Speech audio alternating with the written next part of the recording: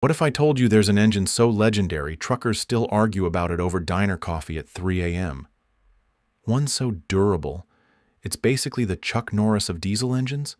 Meet the Caterpillar 3406.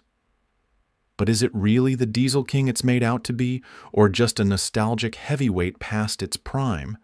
Today, we're tearing into the truth behind the Cat 3406, its origins, the secrets to its cult status, and what they don't tell you before you buy one used. Stick around till the end, because I'm dropping one key insight that even most seasoned gearheads miss. And trust me, it could save you thousands. The meat, history, engineering, and popularity. Let's roll back the clock. The Caterpillar 3406 made its debut in the mid-1970s, part of CAT's mission to dominate the on-highway diesel market. And it did just that, for decades.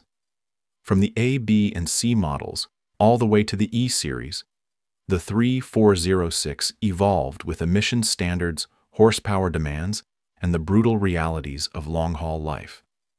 Quick pattern interrupt. Wait, ever heard a trucker say, they don't make make 'em like they used to? That guy was definitely talking about the 3406.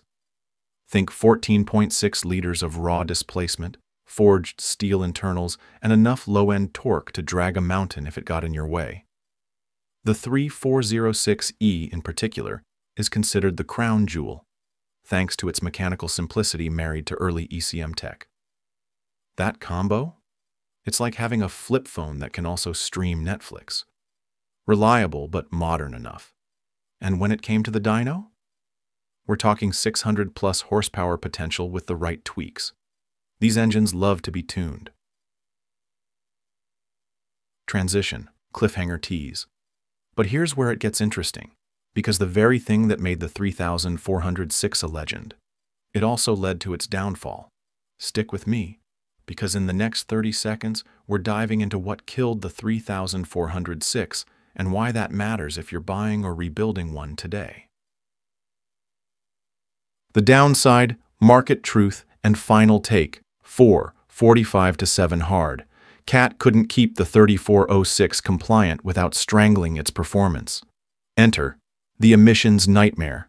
The 3406 was phased out, replaced by the C15, and eventually, CAT bowed out of on-highway engines altogether by 2010.